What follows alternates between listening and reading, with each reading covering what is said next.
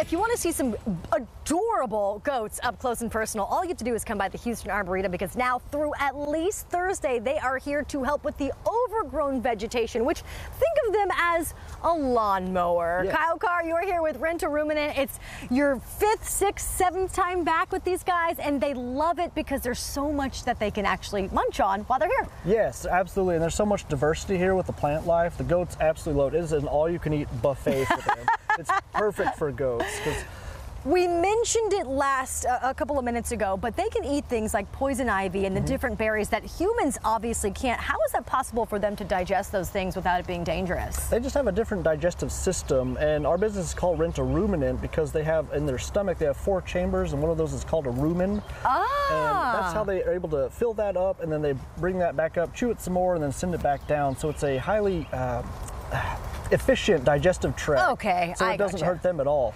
So, when you guys are out here, did they get full? Is there something that says uh, uh, they have so much to choose from? Like you said, all you can eat buffet. Is there a point where they will actually stop, get full? Kind of like they don't eat three meals, right? They eat when they're hungry. Yes. But how much to, would it take to fill them up? They eat quite a lot. I think there's different studies, but uh, about, I think, I would say like a 10 square foot area is about what they eat. And then they kind of lay down and they digest that and they bring it up and chew their cud and then they get up and eat some more. They take a little bit, they sleep at night for a couple hours, but they still get up and graze even through the night. How many of the goats do you have here this time? There's 150 of them. And you've got a name for all of them. Yes. It's so funny because we can look at them, you watching them, and you know exactly who you're talking to. Brian and Gizmo and Pixie. How do you keep all your kids straight?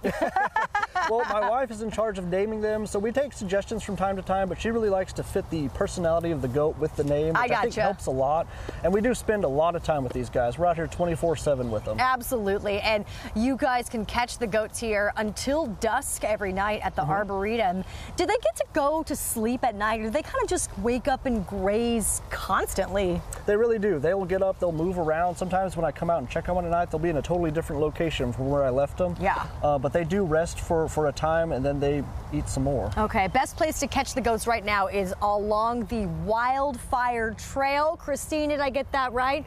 Wildflower Trail, but they will be moving. So your best time is just to come on out. It's by the, the administration building. You really can't miss them. There's signs up if you guys want to come catch the goats. I'm going to put the Goats Galore information on our website at HoustonLife.tv because this is so much fun for the entire family. I, Kyle, I really don't think that there's anybody who doesn't just love to watch goats just munching at their food all day. yes, they, they're highly entertaining. They're, especially here at the Arboretum, they climb on the fallen trees. They play King of the Hill. You know, there's little And they talk to you. And they talk to you. Yes.